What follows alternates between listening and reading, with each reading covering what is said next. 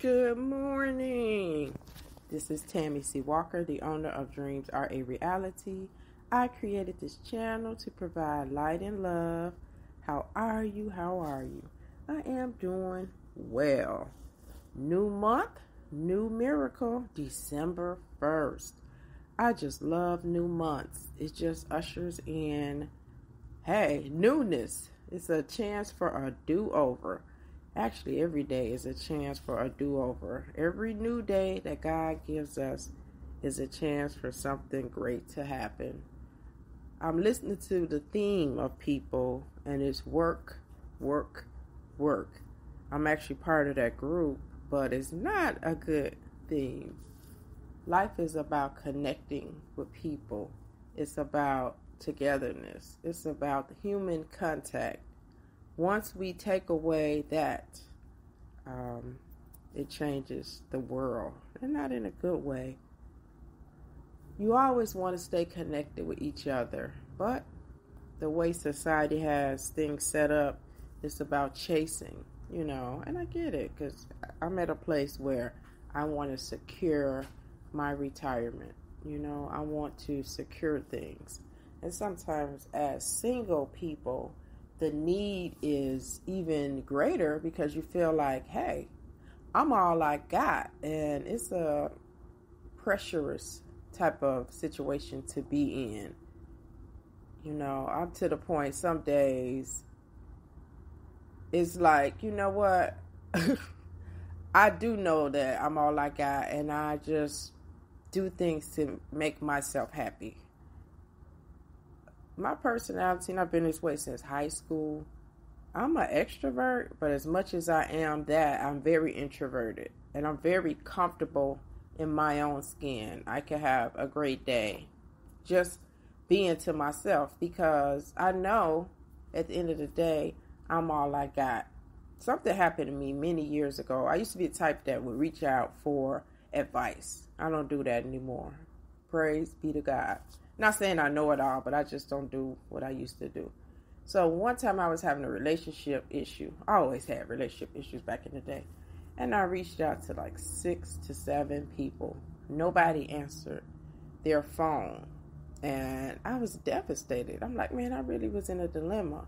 But it wasn't their fault. That's my fault. And I just remember God was like, what about me? You know, and that day changed my life forever. This is over 16, 17 years ago. Probably longer. Yeah, I can't keep up with years anymore. But remember that at the end, it's always you and God. I remember when I had breast cancer, I was in therapy with this beautiful therapist. She ended up relocating to Seattle. She was an art therapist, but her approach was so gentle and she was just a soft spoken, just a very I can't describe her energy, warm and comforting energy. Just what I needed during a scary time like that.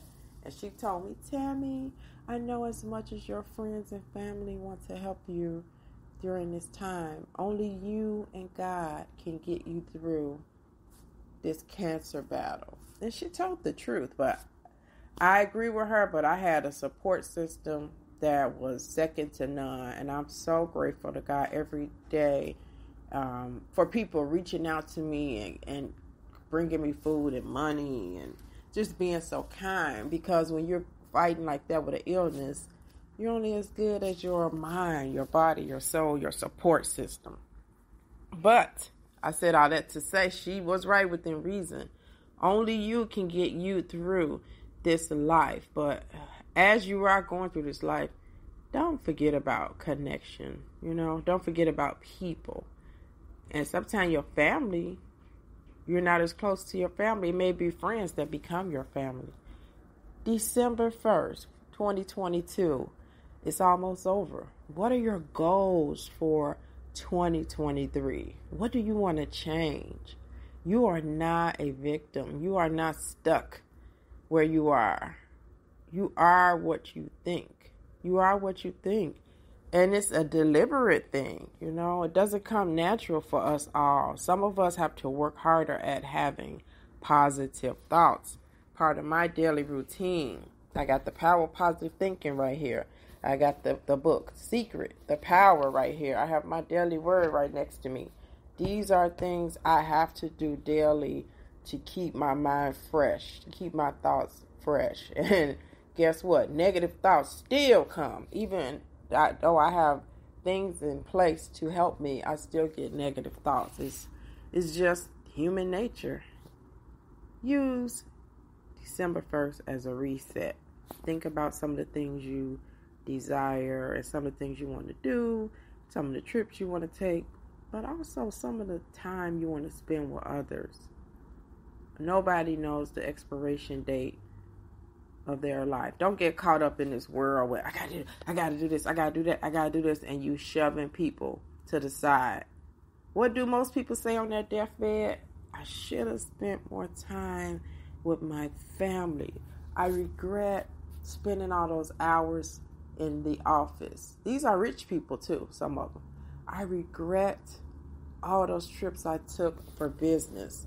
I regret not spending more time with my kids, my son, my daughter, my grandson, my wife, my parents. Don't be those people. Do it all right. That way, at the end, you will have no regrets. Tammy C. Walker, have a beautiful day. Thank you for all your comments and all your kindness. God bless you all. God keep you all. Bye bye.